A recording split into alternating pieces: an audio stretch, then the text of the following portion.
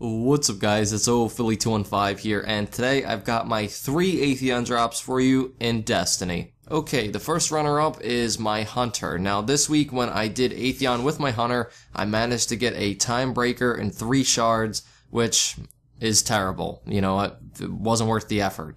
Now moving on to my Titan, I got my fifth Vex and three shards. Now, what I didn't realize is last week I got two Vex Mythoclast from running Atheon, but what I didn't realize is the third hidden Vex Mythoclast went to my vault on my Warlock, or not my vault, the Postmaster.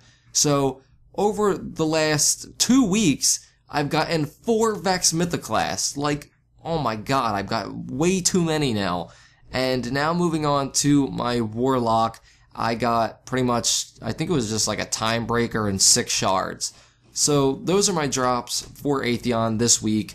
Um, honestly, they were kind of all terrible because I just got my fifth Vex Mythoclast and it was shards. So I definitely don't think I lucked out this week on Atheon. But what did you guys get? Did you guys get anything better? Gjallarhorn? Um, you know, anything else like that? Let me know down in the comments section down below. Maybe you can make me feel a little bit better if I know somebody else got something, you know, worth putting the time into. So yeah, guys, I hope you enjoyed this video. If you did, feel free to leave a like. And as always, guys, it's Philly 215. Peace!